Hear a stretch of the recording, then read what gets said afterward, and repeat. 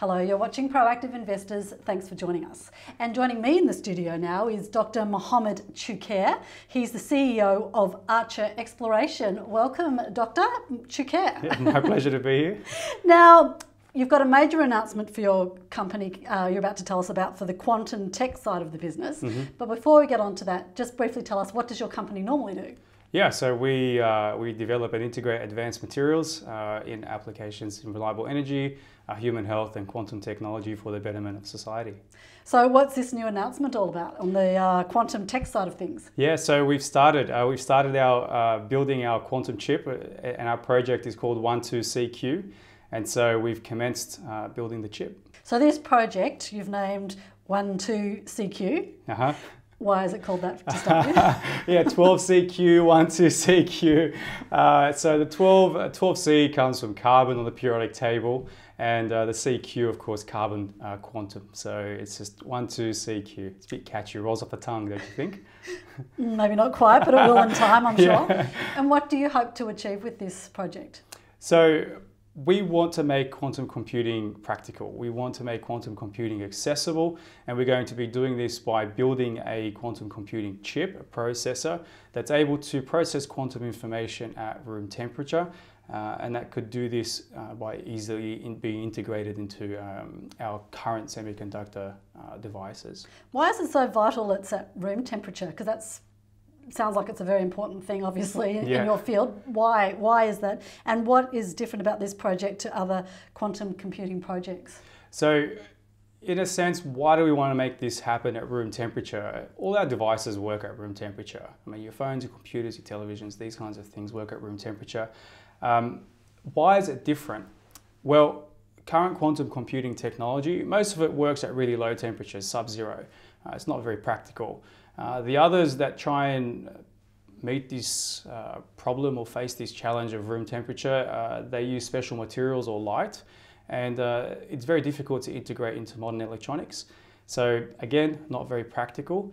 What we represent with 12CQ is uh, a unification of these two challenges, and we're able, or we want to be able to develop a room temperature quantum computing chip that can be easily integrated into our modern day devices. Where is the project based? So the project primarily is based in Sydney. Uh, we have our staff here in Sydney and we've just received uh, access through an access agreement to the Nanoscience Hub, the Sydney Nanoscience Hub, uh, to build the chip in the research and prototype foundry, uh, which is purpose built for these kinds of uh, Sounds quite specialised. And you probably went through some of the applications, but what would you say are the top three goals of this project? So, top three goals would be uh, first and foremost would be to get our patents uh, registered uh, in in foreign jurisdictions. Uh, so to get those through, uh, they're currently under examination. So Australia, the US, the EU, Japan, Hong Kong, China. Uh, so that would be uh, and Korea. Uh, that would be fantastic because that would give us freedom to operate in those markets. The second uh, would be you know, demonstrating proof of concept, building a prototype, simply because that shows uh, your, your viability and, and that can help catalyze commercialization. And thirdly is uh, going into commercial partnerships with uh, heavily resourced companies, let's just call it that, because that would allow us you know, that global scale, that global integration, uh, that global distribution. So to be patented, um, it's obviously got to be a first and original. Mm. Is that you've obviously explored um, that that is the case? And if it is, how, how can you compete or sort of um, be a breakthrough, uh, a groundbreaker, if you like, with the global powerhouses like in Asia and other parts of the country, in, in the world? Mm. So uh, you touched on it, IP is one, one important issue there. Uh, first and foremost, I mean, we have something that no one else in the world has and, and that's a, a conducting material, carbon-based conducting material that is capable of processing quantum information at room temperature. And that forms the core of our technology and those materials are available in our inventory and we intend on integrating those materials into a device and building a prototype of this device. Now, this kind of knowledge is not easy to acquire. This is very difficult.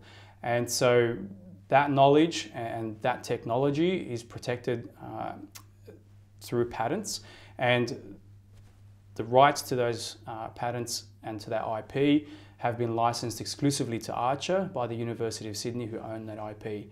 I think second of all, uh, we've been able to attract uh, brilliant people, right? Uh, so Dr. Martin Fuechsle joined Archer in mid-February, and um, he's a global pioneer in building quantum logic devices, and he's very passionate about 12CQ.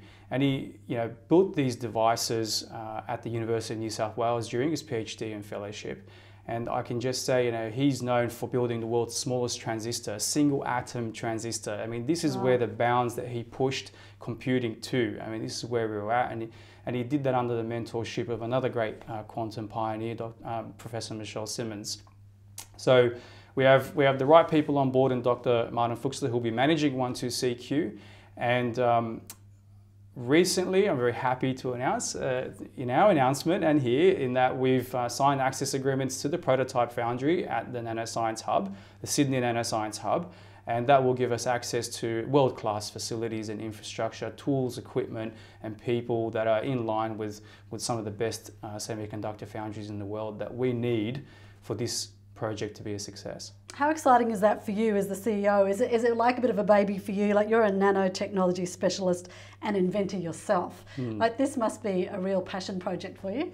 It's always wonderful to see uh, technology crystallize, uh, to go from the idea stage uh, and, and to realize these technologies. And of, of course, uh, materials at the heart of all of this because again and I, and I, say this often that materials are the tangible physical basis of all technology so to see an idea uh, precipitate into a material which can then be applied and used into technologies that can uh, benefit all of us, uh, that could benefit all of us, that, that's something um, that I enjoy seeing, yes. Really exciting. And just finally, um, how do you think, if this is successful, it will be um, used in quantum computing in Australia? Mm. So Look, I mean, you've just you've just reminded me of those TV shows I watched as a kid. Also, Beyond 2000, right? So, Mohammad, what do you think quantum computing is going to be used for? Uh, look, it does excite me uh, the way we're, we're moving in the financial markets, the way we transact, the way we see currency. I think quantum computers can have a, a very positive impact uh, in, in, that field. Uh, but the chemist in me just wants to see. Um, the quantum computers being used uh, to really predict or simulate new materials that can help uh, in reducing the negative impacts uh, humans have on our environment. So that's something that I would really like to see. Really fascinating stuff, and it's a, you know it's obviously an ongoing evolutionary process, isn't it? Mm-hmm. Thank you so much um, for your time, and we look forward to following this project with you and seeing how it unfolds. No problem. It's very nice to meet you. You too. Um, so that's Dr. Mohammad Choucair, the CEO of Archer Exploration.